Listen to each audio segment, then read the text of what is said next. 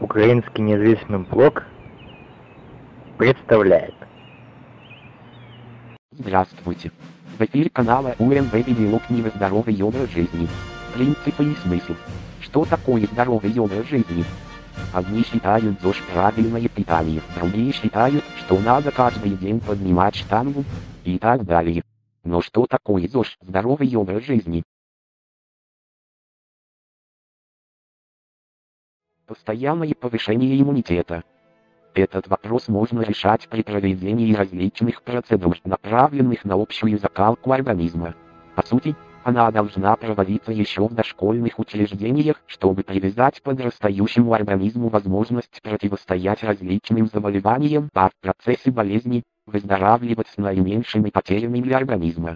Также важны общефизические упражнения, которые не только благоприятно влияют на физическое состояние человека, но и повышают жизненный тонус в целом. Устоявшийся режим жизни. Это значит то, что каждая сфера жизни человека должна иметь свой режим и график. Это касается не только работы и отдыха, но и определенного времени проведения физических занятий, а также сна. Любая деятельность человека, будь то прием пищи или поход в магазин, должны чередоваться с отдыхом, так как человеческому организму в любом случае необходимо восстановить потраченную энергию. Только в таком случае, когда жизнь человека будет расписана по какому-то графику, найдется время не только для работы и отдыха, но и для ведения активного образа жизни, физической подготовки организма, а также время на личные интересы и потребности. Несовместимость здорового образа жизни с наличием вредных привычек.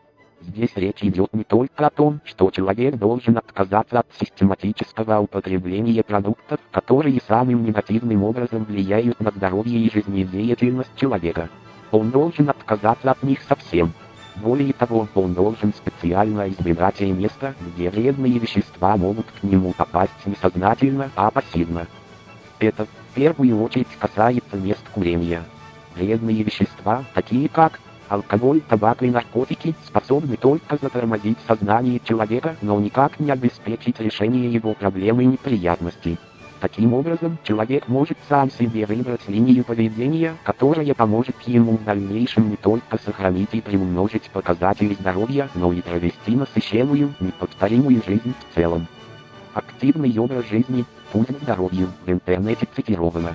14 сентября 2016 года HTTP Стэн здоровый. Руделим за є опитом активним же безхизни туткой здороваю. HTML. Тема седьмая. С лечебными свойствами пара здорово жить. Слово «человек» можно трактовать как «жить чело». Это сто лет век.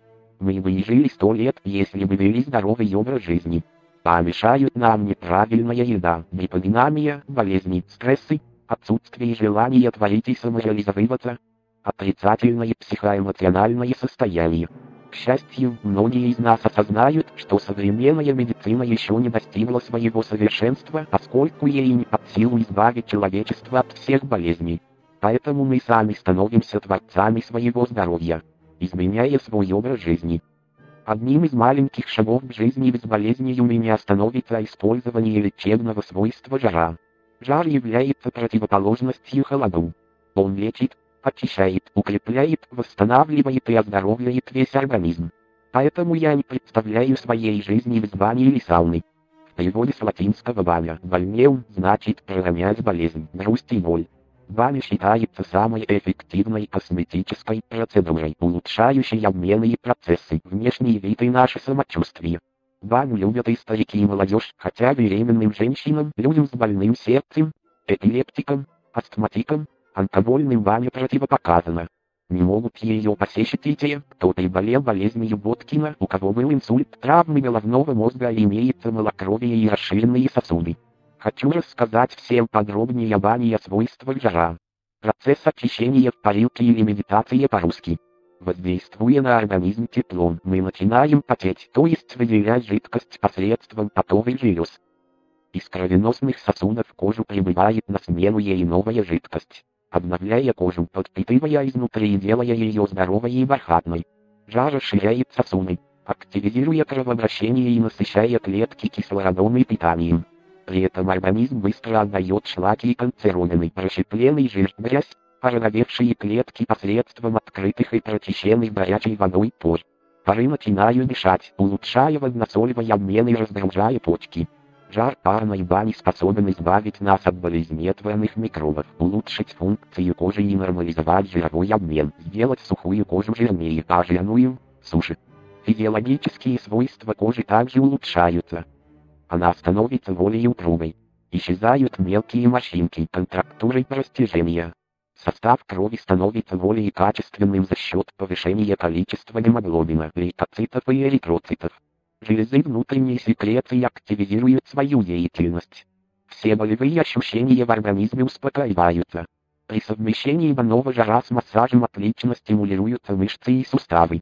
Горячий и влажный воздух лечит ОРЗ, бронхит, пневмонию, артрит и прочие болезни. Он благоприятно воздействует на гортань, слизистую полость рта и носа, улучшает воздухообмен в альвеолах легких. Поджигает, плавит и окисляет холестерин на стенках артерий. В бане можно лечить геморрой, болезни кровеносных сосудов, подагру, цистит и неврит. Вместе с потом выходит хлор, натрий и молочная кислота, калий, азот и мочевина, аммиак и кальций, глюкоза, магний, азот и аминокислоты, кератин и немного витаминов. Поэтому в перерывах между посещением парного отделения следует пить витаминизированный чай с наличием микроэлементов. Какая баня без веника? Веник – это атрибут для целебного массажа. Какая польза от веника? Пары горячая вода изымают все лечебные активные вещества из растения, а кожа их впитывает. Веники из бирюзовых веток выделяют ароматные эфирные масла, которые лечат ревматизм, гнойничковую сыпь, очищают кожу, улучшают дыхание и способствуют отхождению мокроты. Хорошо обдава тело настоем от березового веника в самом конце банной процедуры. Веник из липы активизирует обильное потоотделение, снимает головную боль и избавляет от простуды за счет усиленного отделения мокроты и снижения температуры тела до нормальной, благоприятного влияния на легкие и почки. Дубовые веники избавляют кожу от сальных пробок, заболеваний, придают ей упругость и убирают жирный блеск. Кора веток имеет дубильные вещества, которые справляются с болезнетворными микроорганизмами. Крапивными вениками выливают радикулит. Излечивают суставы, предварительно обдавая веник кипятком и затем холодной водой для предупреждения ожогов. Стирать по пояснице нужно без фанатизма, не забывая о почках. Вениками из эвкалиптовых веток изгоняют простуду, невралгии. Горячий веник можно прикладывать к ступням, теплый, к лицу для улучшения дыхания. Ветки вязы хороши для массажа тела. От головной боли и головокружения, прокачки крови в постоянно мерзнущих руках и ногах. Несколько кости и листьев вязы можно запарить и опустить в напор кисти или стопы. Веник из кленовых веточек используют как антисептик от раны и воспалений. Он поглощает пот с вредными веществами. Парить орешником полезно при варикозном расширении вен, трофических язвах, экземе нейродермите. Сосновая, еловая и пихтовая хвоя нормализует кровообращение и продлевает жизнь. Ветки запаривают кипятком и выдерживают в нем полчаса. Затем оборачивают простыни и кладут на верхний полог для распаривания. После этого можно лечь на завернутый веник на 5-8 минут и делать легкий массаж тела. Выдержать похлестывание колючей хвой может не каждый, но со временем кожа привыкнет, а польза от этой процедуры огромная. Веник из можжевельника по действующим веществам схож с березой, но воздействует на организм он резче. Заранее можно скомбинировать веник из веток разных растений, что избавит от нескольких болезней. Например, полезно соединять березу и луп, эвкалипт и крапиву. Иные парятся поочередно двумя вениками, можжевеловым и хвойным, березовым, затем дубовым. Если нет веника, то захватывать горячий воздух можно второй половиной простыни, на которую мы садимся. Подойдет и полотенце, которым можно нагнать на себя пар, а затем хорошо растереть грудь и спину, ягодицы, бедра и голени. На каменную печь можно налить мятный отвар, настой из хвой, мяты перечной, полыни, шалфея, липы, можжевельника, любых ароматных трав, даже квас хреном и пива. Вещества из настоя с паром начнут активизировать легкие, а они, выделять с выдыхаемым воздухом слизь с токсическими продуктами. Таким образом, мы проводим имболяцию и очищаем организм, излечиваясь от бронхолегочных болезней. Как правильно париться? Первый заход. После принятия теплого душа без мыла или обмывания из ведра в сельской бане в парилке нужно находиться 3-7 минут, чтобы началось потоотделение. Детям и старикам хватит пары на первой полке лавки. На голове должна быть шерстяная шапочка или платок, полотенце. Шлепанцы на ступни надевают только в общественных банях. За час до банной процедуры нужно съесть кашу, овощное или фруктовое блюдо, выпить чай с травами. Трапеза должна быть легкой. На пустой желудок в баню не ходят. Лучше всего посещать баню после 9-11 часов, чтобы не нагрузить сердце. Второй заход. Достаточно находиться в парилке 15-35 минут, больным людям 12-15 минут. Последующие заходы увеличиваются во времени на 1-2 минуты. Вначале нужно лечь, чтобы ноги и голова были на одном уровне. Затем нужно медленно сесть и через минуту медленно встать и выйти для 15-минутного отдыха. Горячий чай с лимоном и вареньем или травяной отвар без сахара не будет лишним. Третий заход. Теперь можно использовать веник, подавая парку каждые 20 минут, но не более 3-4 раз, если в бане только одно отделение для мытья и пара. Веник отмочиваем в горячей воде, стряхиваем, поднимаем вверх или кладем на верхний полок или камни. Сначала подложиваем листьями веника по рукам и торсу, затем прикладываем к стопам и ведем по голени, бедрам и спине, шее и обратно. Хорошо в бане иметь напарника, чтобы расслабиться и принимать с удовольствием массаж веником. Далее следует растирать и препаривать веником. Таким своеобразным компрессом можно улучшить теплообмен, уменьшить боли, стимулировать отделение пота и согреть кожу. В последующих заходах умеренно горячий веник прижимают к пояснично-крестцевой лодичной зоне на 1-3 секунды между лопатками с большим суставом, коленным, голеностопным, тазобедренному. Следующий этап – выполнение постегивания концом веника по спине икрам, стопам, затем по груди животу, ногам и рукам. Похлестывание чередуется с прижиманием веника к телу. В конце процедуры подложивают все тело одним или двумя вениками. Между заходами в парилку можно принимать контрастный душ. Окатывать себя из ведра холодной водой, купаться в бассейне, прыгать в снег или посидеть в прохладном помещении, пить отвары и чай. В конце банной процедуры нужно помыться жесткой мочалкой с мылом и обдаться травяным настоем. Какие напитки полезны для бани? Прохладная кислая брусничная вода хорошо утоляет жажду и активизирует работу почек и печени. Липовый чай после второго захода в парилку активизирует работу потовых желез. Мед или сахар добавляют по вкусу. Сборный чай из сушеного зверобоя, речной мяты, душицы, по три части, ягод бузины черной и шиповника, по одной части. На 1 литр кипятка 50 граммов сбора. Чай из плодов шиповника и цветка ромашки хорошо очищает и пополняет организм витаминами. Размельченный шиповник запариваем кипятком на 5 минут. Затем добавляем цветки и даем настояться под крышкой 10 минут. После отделения гущи можно добавить мед или сахар, но можно и без подслащивания пить. Чай из рябины и малины. Один к одному является хорошим патагонным средством. Плоды запаривают в чайничке с добавлением сушеных листьев смородины. Лечебные свойства сухого пара. Если в баню мы оздоровляемся влажным паром, то в саунах – сухим горячим воздухом. Различие между баней и сауной есть, несмотря на сходное влияние на наш организм. В парилке русской бани температура воздуха достигает 40-50 градусов Цельсия, влажность доходит до 100%. В парной подотделении слабее, чем в сауне но очищающий эффект в бане сильнее за счет конденсированной воды, оседающей на все тело. Парная под силу закаленным и физически крепким людям как профилактика заболеваний. Больные люди используют более низкую температуру в бане и находятся не так долго в парилке. Сауну могут посещать дети с трех лет и старики и люди менее закаленные или вообще без закалки. В сауне температуру можно установить до 90-100 градусов Цельсия, но злоупотреблять сауной также нельзя, как и парилкой в бане. В сауну можно заходить после мытья мочалкой с мылом, кроме головы и вытирания на сухо тела. На голове должна быть шерстяная шапочка или ситцевый платок. Обувь в помещении сауны не надевают, чтобы не вдыхать пары грязной кожи или резины. Первый заход следует полежать на простыне 5-10 минут без всяких движений. Как только начинает усиливаться сердцебиение, а дыхание учащается и становится поверхностным, нужно медленно встать, посидеть минуту и выходить. Быстрый подъем может привести к обморочному состоянию из-за резкого перераспределения крови. Полезно постоять под прохладным душем или постепенно войти в бассейн. Нырять с головой не стоит. Под душ сначала подставляют ноги и руки, а затем весь корпус.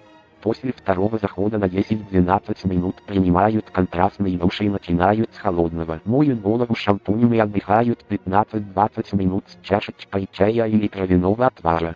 После подсушивания полотенцем волос головы заходят в горячее отделение третий раз на 12-15 минут. Затем повторяют контрастный душ, начиная с холодной струи и заканчивая горячей для продолжения подотделения хорошо обтираются и приступают к целебным напиткам во время получасового отдыха, например, к чаю из душицы, зверобоя и шиповника. Важен контроль самочувствия и проверка пульса в сауне. До первого захода пульс должен быть с частотой 60-70 и более ударов в минуту. После него 110-120 ударов в минуту. После отдыха на 80 ударов в минуту.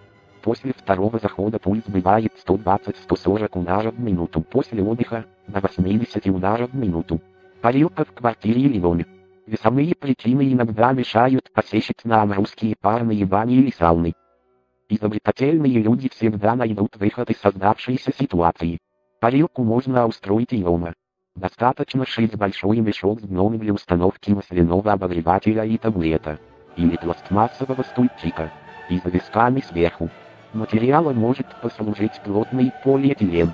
Через небольшое отверстие в мешке сбоку следует протянуть шнур обогревателя и включить в сеть.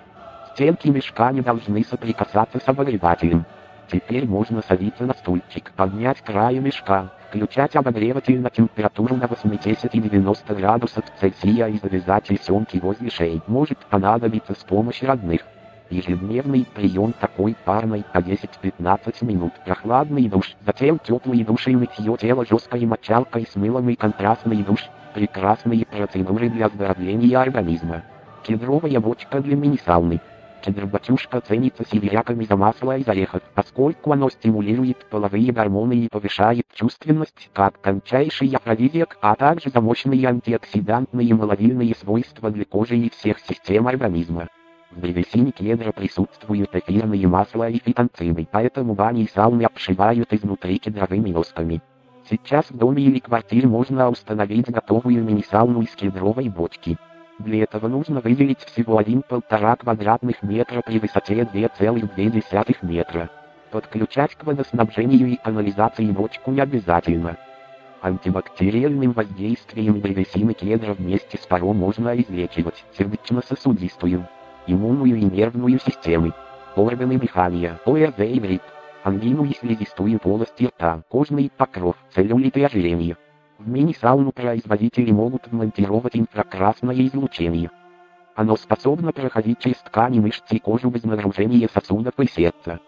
Оно вызывает усиленное потоотделение и вывод посредством пор канцерогенов и токсинов. Заходить в мини-сауну следует после ванны или душа с сухим телом. Голову моют уже после процедуры. В определенное место нужно засыпать фитосбор, добавляя туда эфирное масло 3-5 капель, включить генератор и прикрыть горловину бочки тканью. Спустя 5-8 минут можно садиться в бочку и наслаждаться процедурой 10-15 минут.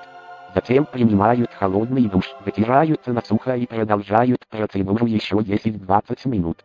Теперь полезно принять контрастный душ, начиная с холодного. Затем можно помыть голову и восстановить силы целебными напитками. Бани не имеют границ.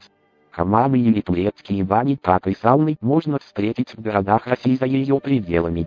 В них предлагается такое количество процедур, что в хамаме можно провести целый день. Как и в русской бане, здесь подают телу много влажного пара температурой до 80 градусов Цельсия. До появления потовыделения в теплом помещении отдыхают на разогретых каменных или мраморных лежанках, чебикшашах. Затем устраиваются в нишах с горячим паром. Ниши могут иметь разную температуру пара, выбирая любую. Затем принимают восточный массаж и плавают в бассейне. Отдыхают и принимают косметические процедуры. Я прочувствовала и поняла, что отличие турецкой бани от русской парной в том, что тело в ней медленно нагревается. Поэтому долго нельзя находиться в хамаме из-за ненормальной работы естественной терморегуляции кожи. Можно просто преусердствовать. Но косметическим процедурам такое воздействие тепла прекрасно подготавливает. После бассейна тело смазывают ароматическими маслами или увлажняющими кремами. Экзотические хамы можно установить в квартире или доме, если позволяет площадь. Понадобится помещение высотой 2,8 метра с куполообразным потолком, водоснабжение, холодное и горячее, канализация и вытяжка, паровая и гидроизоляция. Хамам оснащают плиткой. Для поддержки постоянной температуры применяется система теплых полов, а для получения пара – парогенератор. Афура, фура и сента – японские бани. Эти экзотические бани стали устанавливать на дачных участках, в частных домах. В них купаются на улице водой с температурой до 55 градусов Цельсия даже зимой. Ощущение просто супер. Сента. Сначала нужно вылить на себя воду в количестве 4-5 ведер или вымыться под душем. Затем заходят в бассейн, большую деревянную бочку с подставкой сиденьем и горячей водой.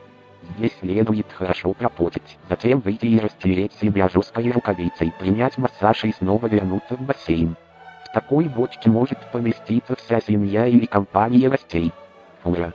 Своеобразной парилке из бочки с теплой водой человек сидит на скамеечке, но полулежа. На голову надевают шапочку, смоченную холодной водой. Бочку ставят на печь и нагревают до температуры 40-50 градусов Цельсия. Время нахождения в бочке 4-6 минут. После разогревания следует на сухо вытереть себя полотенцем, завернуться в простынь или надеть халат и отдыхать на кушетке в течение часа. Чтобы сбросить вес, нужно завернуться в одеяло и шерсти. Апура. Баня с ароматами прекрасно оздоравливает организм. Воду в бочке заменяют опилки кедра, много сухих трав.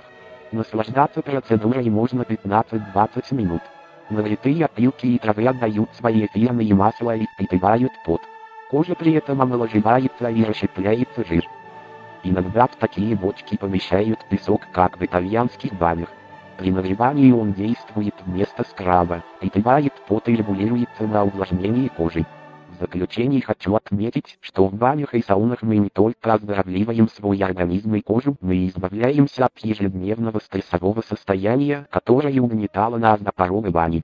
Здесь проходит наш гнев, что позволяет нам испытывать блаженство и расслабление. Анасова Надежда. С лечебными свойствами пара здорово жить, в интернете цитировано. 15 сентября 2016 года HTTP Стэн здоровый, Руди Линза и опытом с лечебными свойствами по здорову схит. HTML. Тема восьмая. Заколебание и контрастная терапия, процедуры для здорового образа жизни. Еще одной широкой ступенью на пути к здоровью без лекарств является заколебание нашего организма. Его нельзя разделить с контрастной терапией, поскольку без контрастной температуры воды, воздуха, солнца, хождения босиком по горячей земле или холодной траве и снегу невозможно правильно закалить наше тело и дух. Для чего нужно закаливать организм? Я использовала закаливание для того, чтобы организм приспособился к температурным изменениям окружающей среды и не снизил свои иммунные силы во время эпидемии. Закаливание помогает тренировать деятельность сосудов, сердца, укреплять вегетативную нервную систему, поднимать тонус жизни и гармонизировать психику, возвратить в норму нарушенные функции организма, остановить старение организма за счет омоложивающего эффекта. Закалить организм можно пассивно, за счет привыкания, или активно, организованно и дозированно, а оздоровить перепадом температур, то есть теплом и холодом. Чтобы компенсировать перепад температур в организме подключается внутренний закаливающий механизм, способный к нейтрализации температурных нагрузок. Поэтому у закаленного человека имеется своего рода так называемая броня, защищающая его от температурных колебаний внешней среды. Важно знать, что при резких значительных перепадах температур ускоряются обменные процессы, освобождающие каждую клетку от шлаков и солей и продуктов ее жизнедеятельности. Заколебание нужно совмещать с физическими нагрузками, отказом от курения и алкоголя, нездоровой пищи. В противном случае нет смысла стремиться к здоровому образу жизни. Психологическая настройка очень важна, чтобы начать процедуру заколебания. Крайности могут принести вред, поэтому начинать резко себя обливать ледяной водой или мажевать не стоит. Чтобы совместить температурное воздействие с возможностями организма необходимо Вначале обтирать влажным полотенцем лицо, грудную клетку и ноги, затем ополаскивать их прохладной водой в душе. Дополнительно можно принять минутную ванну. Искупаться в водоеме. Закаливающую процедуру начинать с горячей температуры воды обливаний 40-42 градуса Цельсия, снижая ее до 15 градусов Цельсия. Каждый день или два температуру понижать на 1 градус Цельсия. Прерывать ежедневный ритуал закаливания не рекомендуется, поскольку тогда нет смысла добиваться нужного результата. Придется все начинать заново. Температуру снижают, а результат закрепляют и далее начинают обмывать стопы холодной водой. Если стопы станут менее чувствительными к холоду, тогда можно будет избавиться от простудных заболеваний. Сначала температура воды для стоп составит плюс 20 градусов Цельсия, для людей с низким иммунитетом, плюс 25 градусов Цельсия. Длится процедура 30 секунд. Каждые два дня температуру снижать на 1 градус, а длительность процедуры довести на 4-5 минут. Для стоп можно делать контрастные баночки. В одной емкости температура воды будет составлять плюс 37 градусов Цельсия, в другой – плюс 20 градусов Цельсия. Выдерживать ноги в теплой воде нужно 30 секунд, прохладной 15 секунд. После повторения 3-4 раза ноги хорошо растереть жестким полотенцем, вапельным до появления покраснения на коже. Постепенно горячую воду нужно снижать до температуры плюс 15 градусов Цельсия и ниже. Если мы обливаем стопы или принимаем контрастные воночки, мы тонизируем организм посредством множества нервных окончаний. Ходьба по земле босиком активизирует биологически активные точки, отвечающие за горло. Поэтому заколебание стоп избавит нас от ангины и иных заболеваний горла. Но не нужно спешить выбегать босиком в снег зимой. Чудо произойдет только при кропотливом и поэтапном заколебании, поскольку организм способен вырабатывать под влиянием холода тепло, что позволяет нам выдерживать холод. Как мы лечим себя холодом без таблеток? Холод активизирует ток крови. Кровь доставляет свежий кислород и питание в каждую клетку, поэтому организм наполняется энергией и теплом. При охлаждении тела снаружи мы способствуем прорыванию организма изнутри со всеми жизненно важными органами и системами. Внутреннее тепло и холод создают контраст снаружи и включают энергию. Она продвигается по всем сосудам крови телу, оживляет капилляры. Открывая пары, она дает клеткам возможность дышать. Вот так нами активизируется целительная сила организма. Он излечивается без таблеток. Противопоказаний против умеренно воздействовать холодом не противопоказано. Благодаря оздоровительному эффекту холода стихают болевые приступы в суставах, костях и мышцах, ускоряется ток крови и отток лимфы к узлам, приходит в норму работа сосудов, сердца, органов дыхания и ЖКТ, нервной системы, ставится защита от нервных перенапряжений, включая стрессы и депрессии, кожа изменяет свой вид, становится моложе, здоровее за счет дыхания, питания и активизации работы потовых и сальных желез. Рассмотрим поближе основные методы закаливания. В любую погоду можно закаляться. Обливанием. После освоения обтирания я перешла к обливанию.